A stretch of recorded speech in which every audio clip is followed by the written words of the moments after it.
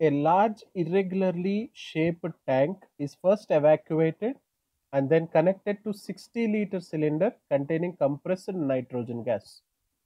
The gas pressure initially at 25 atmosphere falls to 3 atmosphere after being connected to large cylinder.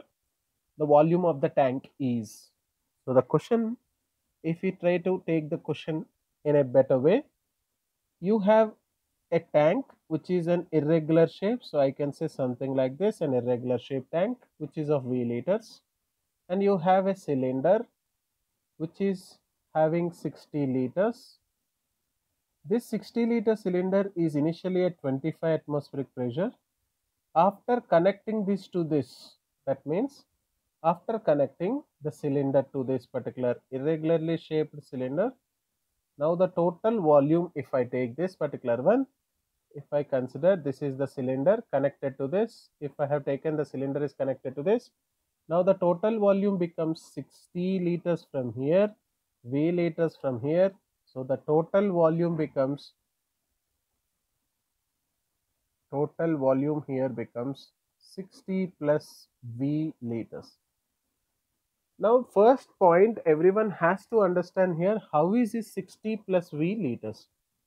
Remember the point every time we say pressure of the gas is the pressure sorry volume of the gas is the volume of the container. So the gas will not have any definite volume will not occupy the definite volume it will be the volume of the overall container will be the volume of the gas.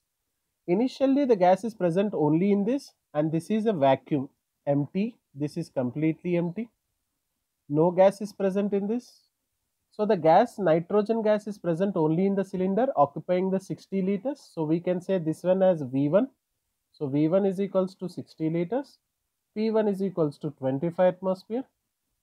But when you take this particular one the cylinder is connected to the irregularly shaped tank now the gas can diffuse into the tank. It will go into the tank and occupy the total entire space of the tank also.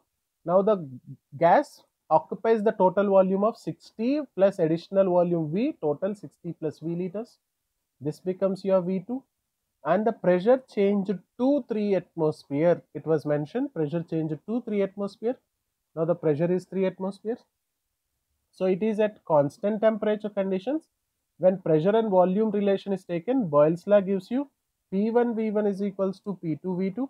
I can apply a simple logic. P1 is 25 into 60 will be equals to P2 is 3 into 60 plus V. So now 3 can be cancelled 20 times. 20 into 25 that is 500 equals to 60 plus V. Now V is equals to 440 liters. So what is the volume of irregularly shaped cylinder?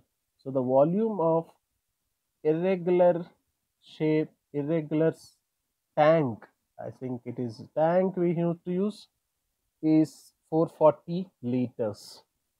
So the answer should be option D. It should be 440 liters.